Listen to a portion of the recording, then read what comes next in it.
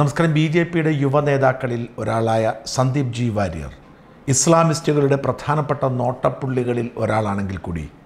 പലപ്പോഴും വർഗീയ വിദ്വേഷം പടർത്തുന്ന തരത്തിലുള്ള ചില പ്രചരണങ്ങൾക്കെതിരെ മതേതരമായ നിലപാടെടുത്ത് ശ്രദ്ധ നേടുന്നയാളാണ്. ഇതാദ്യമല്ല സന്ദീപ് വാര്യർ ഇങ്ങനെയൊരു നിലപാടെടുക്കുന്നത്. കഴിഞ്ഞ ദിവസം സന്ദീപ് വാര്യർ ഒരു പോസ്റ്റ് ഇട്ടു. അത് ഇപ്പോൾ നടക്കുന്ന ഹലാൽ വിവാദത്തിൽ സംഘപരിവാർ നിലപാടിന് എതിരായുള്ള പോസ്റ്റായിരുന്നു. ചെറിയൊരു പോസ്റ്റാണ് അതാദ്യം വായിക്കാം. വ്യക്തിപരമായൊരു നിരീക്ഷണം മുന്നോട്ട് വെക്കട്ടെ. ഹിന്ദുവിനും മുസൽമാനും ക്രിസ്ത്യാനിക്കും പരസ്പരം സാമ്പത്തിക ഉപരോധം നടത്തി ഈ നാട്ടിൽ ജീവിക്കാനാവില്ല എന്ന് എല്ലാവരും മനസ്സിലാക്കിയാൽ നല്ലത്. മുസൽമാന്റെ സ്ഥാപനത്തിൽ ഹിന്ദുവും ഹിന്ദുവിന്റെ സ്ഥാപനത്തിൽ മുസൽമാനും ജോലി ചെയ്യുന്നുണ്ട്. അവന്റെ സ്ഥാപനങ്ങൾ തകർക്കാൻ നിങ്ങൾക്കൊരു നിമിഷത്തെ സോഷ്യൽ മീഡിയ പോസ്റ്റ് മതിയാകും. എന്നാൽ ഒരു സ്ഥാപനം തകർന്നാൽ പട്ടിണിയിലാവുന്നത് എല്ലാ വിഭാഗത്തിലും പെട്ട മനുഷ്യരാവും.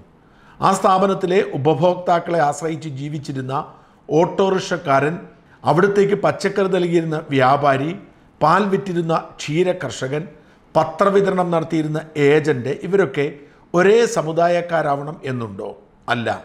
അവരിൽ രാമനും റഹീമും ജോസഫും ഒക്കെ ഉണ്ടാവാം. ഓരോ സ്ഥാപനവും കെട്ടിപ്പടുത്തതിന് പിന്നിൽ എത്ര കാലത്തെ അധ്വാനവും പ്രയത്നവും ഉണ്ടാവും? ഉത്തരവാദിത്വമില്ലാത്ത ഒരൊറ്റ ഫേസ്ബുക്ക് പോസ്റ്റിൽ തകരുന്നത് ഒരു മനുഷ്യായുസിന്റെ പ്രയത്നമാകാം. ഒരു ബഹുസ്വര സമൂഹത്തിലാണ് നാം ജീവിക്കുന്നത്. അതെല്ലാവരും ഓർക്കണം. ഓർത്താൽ നല്ലത്. ഇന്ത്യൻ സൈനികർക്ക് സൗജന്യ ഭക്ഷണം നൽകുന്ന ചെറുതുരുത്തിലെ അബ്ദുൽ സലാമിക്കയുടെ ഹോട്ടൽ കഫേ മക്കാനി ഇതേ പേജിലൂടെ ലോകത്തിന് പരിചയപ്പെടുത്തി എനിക്ക് എങ്ങനെയേ പറയാനാവൂ? വികാരമല്ല വിവേകമാവണം മുന്നോട്ട് നയിക്കേണ്ടത്.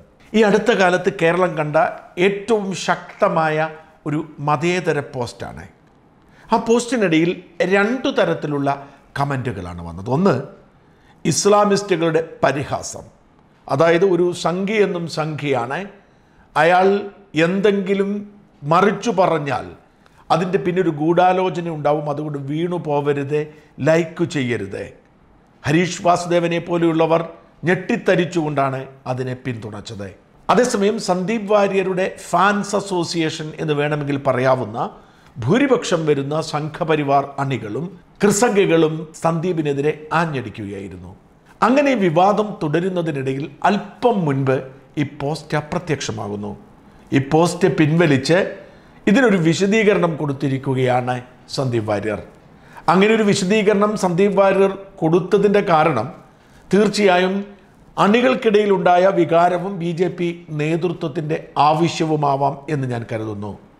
ആ വിശദീകരണത്തിലേക്ക് ഞാൻ കടക്കുന്നില്ല. പക്ഷേ ഇത്രയും മതേതരമായ ഒരു പോസ്റ്റ് പിൻവലിക്കേണ്ടി വന്ന സാഹചര്യം കേരളത്തിന് ഉചിതമാണോ എന്നതാണ് പ്രധാനപ്പെട്ട ചോദ്യം. രണ്ടാമത്തെ വിഷയം സന്ദീപ് ഉയർത്തിയ വിഷയങ്ങൾ ചർച്ച ചെയ്യേണ്ടതല്ലേ?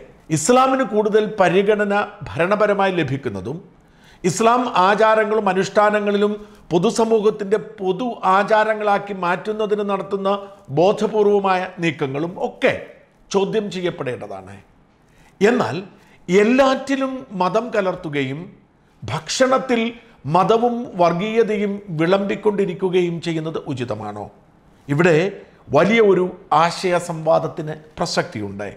ആദ്യമേ പറയട്ടെ ഹലാൽ ഭക്ഷണവും തുപ്പൽ ബിരിയാണിയും രണ്ടാണ്. നിർബന്ധിത ഹലാലും സ്വാഭാവിക ഹലാലും രണ്ടാണ്. ഹലാലിന്റെ പേരിൽ ഒരു ഹോട്ടലിനെ ബഹിഷ്കരിക്കുന്നതും ഹലാൽ ഇല്ലാത്തതിന്റെ പേരിൽ മറ്റൊരു ഹോട്ടലിനെ ബഹിഷ്കരിക്കുന്നതും തെറ്റാണ്. ആദ്യം നമ്മൾ പരിഗണിക്കേണ്ടത് ഹലാൽ ഭക്ഷണമാണ്. ഹലാൽ ഭക്ഷണം ഒരു ഇസ്ലാമിക ആചാരപ്രകാരം സൃഷ്ടിക്കപ്പെടുന്ന ഭക്ഷണമാണ്. അതിലേക്ക് തുപ്പൽ കൂടി ചേർക്കുന്നു എന്നത് തെളിയിക്കപ്പെടാത്ത അല്ലെങ്കിൽ ഏതെങ്കിലും ചില മൗലികവാദികളുടെ രീതിശാസ്ത്രമാണ്. ആദ്യമേ പറയട്ടെ ഭക്ഷണത്തിൽ തുപ്പുന്നത് ഏത് ആചാരത്തിന്റെ പേരിലാണെങ്കിലും ഏത് വിശ്വാസത്തിന്റെ പേരിലാണെങ്കിലും എതിർക്കപ്പെടണം. അങ്ങനെ ഏതെങ്കിലും ഒരു ഭക്ഷണത്തിൽ ആരെങ്കിലും തുപ്പുന്നുണ്ടെങ്കിൽ അത് നിയമപരമായി നേരിടേണ്ടതാണ്. അത്തരം ഹോട്ടലുകൾ അടച്ചുപൂട്ടേണ്ടതാണ്. ഇത് ഭക്ഷ്യസുരക്ഷയുടെ വിഷയമാണ്. അതുകൊണ്ട് ഏതെങ്കിലും ഒരു ഹോട്ടൽ തുപ്പലിനെ ന്യായീകരിക്കുന്നെങ്കിൽ ഊതുന്നതിനെ ന്യായീകരിക്കുന്നെങ്കിൽ അംഗീകരിക്കാൻ സാധ്യമല്ല. തികച്ചും വ്യത്യസ്തമാണ്. ഇവിടെ ഈ വിഷയം ഇത്രയും വഷളാകുന്നതിന്റെ കാരണം തുപ്പൽ ബിരിയാണി വിവാദം വന്നപ്പോൾ അതിനെ ന്യായീകരിക്കുന്നതിന് ചിലർ രംഗത്ത് വന്നതാണ്. എല്ലാ മുസ്ലിം പണ്ഡിതന്മാരും മുസ്ലിം സമൂഹവും ഒരുപോലെ ആ തുപ്പലിനെ നിഷേധിച്ചിരുന്നെങ്കിൽ എതിർത്തിരുന്നെങ്കിൽ ഇത് ഇത്രയും വിപുലപ്പെടുമായിരുന്നില്ല. എന്നാൽ തുപ്പൽ ശാസ്ത്രീയമാണ് മതപരമാണ് അവകാശമാണ്. അതുകൊണ്ട് രുചി ഉണ്ടാവും എന്ന് ചിലർ പറഞ്ഞതിന്റെ തിരിച്ചടിയാണ്. അതുകൊണ്ട് ഇത് വ്യത്യസ്തമായ ഒന്നാണ്. തുപ്പുന്നതിനെയും ഊതുന്നതിനെയും. അത് അവരുടെ മാത്രം ചടങ്ങുകളിലും കുടുംബത്തിലുമാണെങ്കിൽ കുഴപ്പമില്ല. പൊതുവായ ഒരു ഹോട്ടലിലോ പൊതുവായ തരത്തിലുള്ള മറ്റെവിടെയെങ്കിലുമോ തുപ്പുകയും ഊതുകയും ചെയ്യുന്നത് എതിർക്കപ്പെടേണ്ടതാണ്. എന്നാൽ ഹലാലിന്റെ ഭാഗമാണ് തുപ്പൽ എന്നത് വർഗീയ പ്രചരണമാണ്. ഹലാൽ ബോർഡ് വെച്ച എല്ലാ ഹോട്ടലുകളിലും തുപ്പുന്നു എന്ന് പറയുന്നത് വ്യാജ പ്രചരണമാണ് നുണപ്രചരണമാണ് അങ്ങനെ ഹലാൽ വെച്ച ഹോട്ടലുകളിൽ തുപ്പുന്നു എന്ന പ്രചരണം നടത്തി ആ ഹോട്ടലുകളിൽ നിന്നും വലിയൊരു വിഭാഗത്തെ പിന്തിരിപ്പിക്കാൻ ശ്രമിക്കുന്നത് വർഗീയതയാണ്.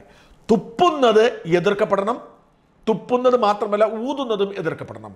എന്നാൽ ഹലാൽ എന്നാൽ തുപ്പലാണ് എന്ന തരത്തിലുള്ള പ്രചരണവും എതിർക്കപ്പെടണം. ഇവിടെ സന്ദീപ് ഇങ്ങനെ ഒരു പോസ്റ്റ് ഇടാൻ കാരണമായി ഞാൻ കരുതുന്നത് കോഴിക്കോട് സുപ്രസിദ്ധമായ പാരഗണനുമായി ബന്ധപ്പെട്ട വിഷയമാണ്. പ്രേക്ഷകരിൽ എത്ര പേർ അത് അറിഞ്ഞിട്ടുണ്ടെന്ന് എനിക്കറിയില്ല. പാരഗൺ ഹലാൽ ബോർഡ് വയ്ക്കാതെ പ്രവർത്തിക്കുന്ന ഒരു ഹോട്ടലാണ്. പാരഗൺ എന്നല്ല ഈ പറയുന്ന വിവാദമുണ്ടാക്കുന്നവർ ആലോചിക്കേണ്ടത് മുസ്ലിം ഉടമസ്ഥതയിലുള്ള എത്ര ഹോട്ടലുകളിൽ ഹലാൽ ബോർഡുണ്ട് ഇപ്പോഴാണ് ഈ ഹലാലൊക്കെ ഒരു ഫാഷൻ ആകുന്നത് അതിനെതിരെയുള്ള വികാരമുണ്ടാകുന്നത് ഹലാൽ രീതിയിലാണ് മുസ്ലിമുകൾ ഭക്ഷണം പാകം ചെയ്തുകൊണ്ടിരുന്നത്. അവർ പ്രത്യേകിച്ച് ഹലാൽ ബോർഡ് വെക്കുമായിരുന്നില്ല. അതുകൊണ്ട് കോഴിക്കോടെന്നല്ല തിരുവനന്തപുരത്തും ഇങ്ങനെ ഹലാൽ ബോർഡ് വെച്ച ഹോട്ടലുകളൊന്നുമില്ല. എന്നാൽ ഇപ്പോൾ വിവാദമായപ്പോൾ ഇതിന്റെ ഉടമ ഹിന്ദുവാണ് എന്ന് തിരിച്ചറിഞ്ഞപ്പോൾ അത് ഹലാൽ അല്ല എന്ന് ഒരു കൂട്ടർ പ്രചരിക്കുകയും അതുകൊണ്ട് ഒരുപാട് പേർ ഒരു യൂനസ് ഖാനാണ് പ്രചരണത്തിന് തുടക്കമിട്ടത്. അദ്ദേഹത്തിന്റെ പോസ്റ്റ് ഇങ്ങനെ പറയുന്നു കാലിക്കറ്റ് പാരിഗൺ ഹലാൽ ഭക്ഷണമല്ല എന്ന പ്രചരണം ശരിയാണെന്ന് തോന്നുന്നു. കാരണം ഹോട്ടലുകളിൽ സേവാഭാരതിക്ക് കൃത്യമായ ഫണ്ട് നൽകുന്നുണ്ട്. ഉടമകൾ കട്ടസംഖ്യകളും തങ്ങളുടെ ഫുഡ് ഹലാലാണെന്ന് ഹോട്ടലുകാർ ഇപ്പോൾ എന്ത് ചെയ്തിട്ട് സമ്മതിക്കുന്നുമില്ല. എന്തായാലും കാലിക്കറ്റ് പാരഗണിന്റെ കാര്യത്തിൽ ഒരു തീരുമാനമായി നന്ദി മിത്രങ്ങളെ. എന്ന് പറഞ്ഞുകൊണ്ട് ഒരു പോസ്റ്റ് ഇടുകയും ആയിരക്കണക്കിന് ആളുകൾ വന്ന് ഛർദി തോന്നുന്നു അവിടെ നിന്ന് കഴിച്ചതിൽ ഖേദിക്കുന്നു എന്ന് പറഞ്ഞ് പോസ്റ്റ് ഇടുകയും ചെയ്തു. അതായത് ഹലാലല്ലാത്ത ഒരു ഹോട്ടലിൽ നിന്ന് ഭക്ഷണം കഴിക്കേണ്ടി വന്നതിൽ ഖേദിക്കുന്നു. അങ്ങനെ ആ ഹോട്ടലിനെ മുസ്ലിം സമുദായം ഒഴിവാക്കുന്നു. കോഴിക്കോടെ പൊതുസമൂഹത്തിൽ കൂടുതലും മുസ്ലിമുകളായതുകൊണ്ട് ആ ഹോട്ടൽ പ്രതിസന്ധിയിലാവുന്നു. ഒരുപക്ഷെ അതാവാം സന്ദീപ് വാര്യർക്ക് ഇങ്ങനെ ഒരു പോസ്റ്റ് ഇടുന്നതിന് പ്രചോദനമായത്. മറ്റ് ചിലയിടങ്ങളിൽ തുപ്പൽ വിവാദത്തെ തുടർന്ന് മുസ്ലിം ഉടമസ്ഥതയിലുള്ള ഹോട്ടലുകളിൽ ആളൊഴിയുമ്പോൾ ഇവിടെ പാരഗൺ പോലെ പ്രശസ്തമായ ഹിന്ദു ഉടമസ്ഥതയിലുള്ള ഹോട്ടലുകളിലും ആളൊഴിയുന്നു. ഇത് വലിയൊരു വിവാദമായതിന്റെ പശ്ചാത്തലത്തിലാണ് സന്ദീപിന് ഇങ്ങനെ പോസ്റ്റ് ഇടേണ്ടി വന്നതും അതിപ്പോൾ പിൻവലിക്കേണ്ടി വന്നതും ഇവിടെ സന്ദീപ് ഉയർത്തിയ വിഷയം വ്യക്തമാണ്. നമുക്ക് മതം തിരിച്ച് ഹോട്ടലുകളെ സമീപിക്കുകയോ അല്ലെങ്കിൽ ഏതെങ്കിലും കച്ചവടത്തെ സമീപിക്കുകയോ സാധ്യമല്ല. ഒരു കാരണവശാലും ഒരു ബിസിനസ്സും കേരളം പോലൊരു നാട്ടിൽ ഏതെങ്കിലും ഒരു മതത്തിൽപ്പെട്ടവരെ മാത്രം എടുത്തുകൊണ്ട് മുൻപോട്ട് കൊണ്ടുവരാൻ സാധ്യമല്ല. എല്ലാ സ്ഥാപനങ്ങളിലും എല്ലാ മതത്തിലും പെട്ടവർക്ക് ജോലി ചെയ്യേണ്ടി വരും. സ്ഥാപന ഉടമ ഹിന്ദു ആവാം ക്രിസ്ത്യാനി ആവാം പക്ഷെ ജീവനക്കാർ മുസ്ലിം ആവാം. സ്ഥാപന ഉടമ മുസ്ലിം ആവാം ഭൂരിപക്ഷം ജീവനക്കാർ ഹിന്ദുവോ ക്രിസ്ത്യാനി ആവാം. അത് നമ്മുടെ നാടിന്റെ അവസ്ഥയാണ്.